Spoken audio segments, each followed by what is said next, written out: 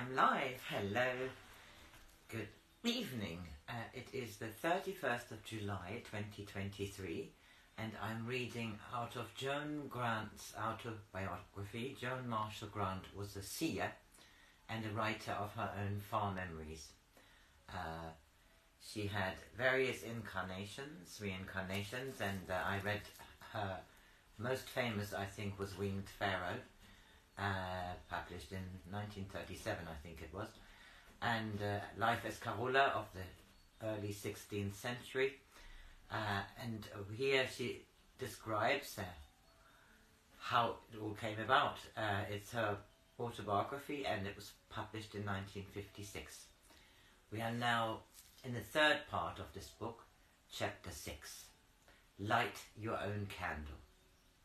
My parents met us in, at Southampton with money for tips and other oddments such as the hairdresser and hat bill. For I had cabled to mother from Vigo that we were flat broke. After a week at Hayling and a fortnight with Daisy, we went to London to look for somewhere to live. Our quarterly allowance just had come in, so we had about £150 between us. But even the most squalid little flats were asking a premium as well as three months' rent in advance. So we took furnished rooms in the house in Half Moon Street, where Malcolm was living. Leslie decided that as we could have to, as we would have to go to Scotland for the grouse shooting, it would be a waste of time to start working for his exams. So in July we went to Knock to stay with a Belgian friend. When I first met her, on the Almeda Star, she had reminded me a little of Daisy. One morning she asked me why I, who was only twenty, preferred to spend so much of my time talking to a woman of sixty-five. Taken off guard, I had said, age isn't important. I may be hundreds of years older than you. She had looked rather startled, but I did not pursue the subject. Instead, she asked me to come to visit her because she wanted to meet she wanted me to meet Robert, her grandson. We took the boat to Ostend and reached Knock in time for dinner. Robert, who was six, had already gone to bed. He came to see me the next morning when I was having breakfast on a tray. A nice-looking little boy wearing shorts and a jersey. He had his left arm in a sling. He accepted a piece of chocolate offered to pour out coffee for me and then wandered round the room, fiddling with things on the dressing table and pretending not to be studying me intently. Then he said abruptly, There is something I want to show you. It is downstairs, and if you don't mind, I would like you to see it before my grandmother gets up. She's already in her bath, so if you would please not be too long. I come now. Wait, just a second while I put on a dressing gown. He took me to a box room where there was a large, unopened packing case. He foraged in a cupboard and handed me a hammer and cold chisel. Open it, please. I cannot do it myself with one hand, and I have promised not to use the other one until the bone is quite mended. I broke it falling off my pony, which was very careless of me. Are you sure your grandmother wouldn't mind? It's addressed to her and please open it now. He was quivering with impatience. It's me in the packing case. I thought he meant that it contained something which belonged to him. So hoping that it was not a present being kept as a surprise for his birthday, I began to prise the nails from the wood. At that, at last I got the lid off and found that instead of a toy, the case would have been about the right size for a child's bicycle. It held a large oil painting. I propped it up against the wall and flicked sawdust from the glass. It was the portrait of a young man in khaki. Who was it? Obviously, someone the boy knew very well, for he was gazing at it with intense excitement and a deeper emotion very close to tears. Then he turned and looked at me solemnly. You will not laugh at me, will you? I wanted to hug him, but I knew the matter was too serious. I never laugh, laugh at true things. He nodded. Then you will tell my grandmother that this is not just a picture of my Uncle Albert. It is a picture of me. I went at once to tell her. I think she had asked me there only for confirmation of what she already knew, eagerly, as though it was a profound relief at last to accept evidence which her religion made it difficult to believe. She told me many things which substantiated Robert's story. Her elder son, Albert, had always meant for more had always meant far more to her than her younger son, John. She had separated from her husband, who was English, when both children were quite small. Albert had spent most of his time with her in Belgium and had been killed in 1915, a captain in the Belgian army at the age of 23. John, just too young for the war, had been sent to school in England and had married an English wife. He saw his mother very seldom until she went to stay with them for a few days when Robert was two years old. To the other grandchildren, she was still only an elderly woman whom they hardly knew. To Robert, she was the only person who really mattered. If he was her, if he was with her, he was cheerful and healthy. With his parents, he sulked or was violently disobedient until they were thankful to send him back to Belgium. Robert was always a brave little boy, she said proudly. When he first saw a swimming bath, and he was then only three, he ran along the diving board and dived in. Albert, too, was a very fine diver. One day someone came here with a cinema camera. When he, when he pointed it at Robert, turning the handle with a clicking noise, Robert screamed, Don't, don't!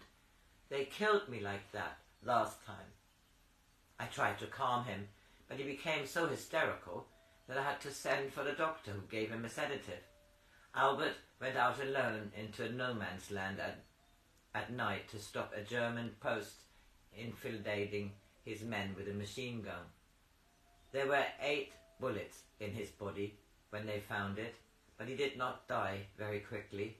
He had managed to crawl back, nearly back to our own wire before morning. There were tears in her eyes, but she continued composedly. There have been so many other things, pet names which Albert used to call me, likes and dislikes, which used to be a private joke between us, trivial in themselves, perhaps, but altogether so certain. Now I shall hang up their portrait.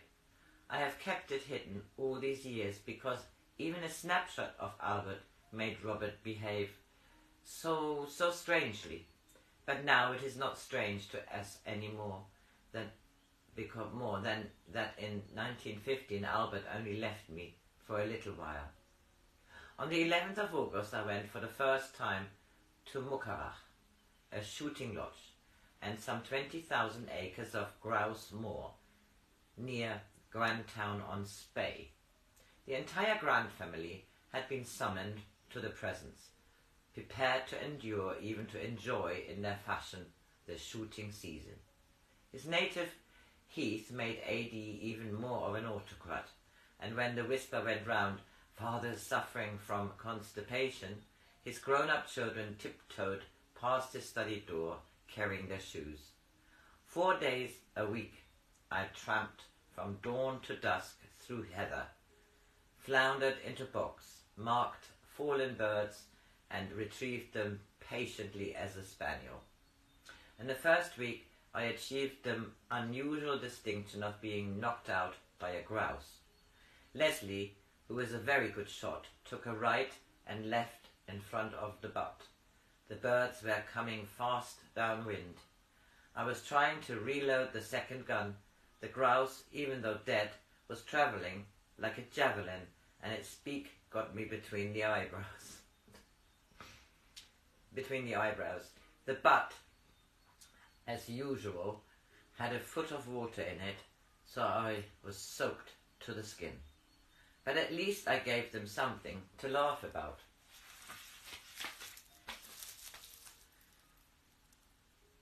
Non-shooting days were golf days. After the 1st of September, they were, they were these were rare, for in addition to grouse, there were partridges to be followed through waist-high kale. At golf, I could sometimes get a little of my own back by egging AD on to bet, and then suddenly playing much better and winning, preferably on the last screen, After dinner, at which most of the conversation was between me and me, for none of the children often spoke in father's presence, there was bridge. Goodness, how hard they tried to teach me to play when they needed a fourth. Luckily, the act. Does it count more when you get cards with pictures on? convinced them that they had at last met someone with so little card sense that she was beyond teaching. On one of our Sundays off, Leslie and I went to Rothiemurchus, intending to climb towards the Cairngorms. It was a beautiful day, and we had it to ourselves, basking naked in the sun. We ate sandwiches beside a burn. It was far too hot and peaceful for serious walking, so we decided to wander, wander on for another mile or so, and then go for dinner to the hotel in Aviemore. Nothing could have been farther from my mind than spooks, when suddenly I was seized with such terror that I turned and in panic flat back, fled back along the path. Leslie ran after me, imploring me to tell him what was wrong. I could only spare breath enough to tell him to run faster, faster. Something utterly malign, four-legged, and yet obscenely human, invisible, and yet solid enough for me to hear the pounding of its hoofs was trying to reach me. If it did, I should die, for I was far too frightened to know how to defend myself. I had run about half a mile when I burst through an invisible barrier behind which I was safe. I knew I was safe now, though a second before I had been in mortal danger. Knew it as certainly as though I were a torero who had jumped the barrier in front of a charging bull. A year later, one of father's professors described an almost identical similar experience he had had when bug hunting in the Cairngorms. He was a materialist, but had been so profoundly startled that he wrote to the Times and received a letter from a reader who had also been pursuing by the thing. Some years later, when I was living at Muckrach, the doctor told me that two hikers, for whom search parties had been out three days, had been found dead.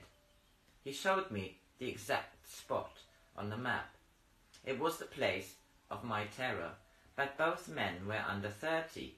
One came from Grantown, the other from Aviemore. The weather was fine. They had spent a good night under the shelter stone on the highest ridge, for they had written to that effect in the book which is kept up there. They were found within a hundred yards of each other, sprawled face down as though they had fallen headlong when in flight. I did a post-mortem on them both, said the doctor gravely. Never in my life have I seen healthier corpses. Not a thing wrong with either of the poor chaps, except that their hearts stopped. I put heart failure on the chit, but it is my considered opinion that they died of fright. In September, there were several other guns coming to stay, so Leslie and I were free to go to Cluny Castle, which had been taken off for the season by Tom Scully, who came from Tipperary, although he was now an American. In his own way, he, he too was a bit of a tyrant, but this did not matter in the least, as I had known him since childhood and was not his daughter-in-law. Violet, his second wife, was only a couple of years older than I, and we were expecting her and was expecting her second baby, which provided a splendid excuse to stay at home gossiping instead of me being a retriever. There was only one snag in an otherwise happy fortnight. Our bedroom was haunted. I should not have minded this so much if there had been electric lights or plenty of candles, but there was never more than one candle an overnight of the housemaid, an oversight of the housemaids, not an economy of violets, and I was too shy to ask for more of them. The massive four-poster bed had heavy green serge curtains, which sucked up the glimmer of my solitary light. I watched it burn lower and lower, hearing, just before it guttered out, the welcome sound of Leslie's footstep on his way to bed, with a candle from the hall. There was a friendly Labrador that belonged to the house. I made a fuss of him, and he attached himself to me, and then I asked that he might sleep in my room. For a few minutes the dog gnawed happily at the, bo- at, at the bone I had smuggled upstairs to make him feel at home. Then his hackles stood up. He howled. He flung himself at the door, scrabbling so frantically with his claws that in decency I had to open it and let the poor beast rush off down the passage. After that I gave an ultimatum to Leslie. Either he came to bed not more than half an hour after I did, which still left about three inches of candle between me and the dark, or else, stark naked, I would come down and fetch him. The threat of this scared him so much that he used to gulp down his whiskey and soda and come rushing upstairs.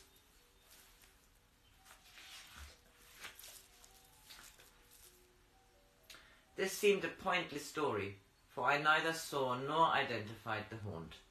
But I mention it because at Cluny I finally decided that it was useless to go on hoping that I would grow out of the experiences which I so often found disturbing. This is a very bright light, isn't it? Which I found so often disturbing. I would understand ghosts and myself only if I saw more of them and not less. The few people I knew who believed in such things were too woolly-minded, too easily deceived, or so it seemed to me, to be of any practical help. Even at that age, I was too much of an empiricist, empiricist to put any real faith in what I read in books. I would be careful not to read books on subject which closely affected me. Where was I to find the knowledge I so vitally needed? I prayed very hard before I went to sleep and on waking knew that the part of me which is older and wiser than my yes everyday self must show Joan how to light her own candle. It's getting a bit dark and I finish this chapter here and read on tomorrow chapter 7 which is entitled Here and There. Good night.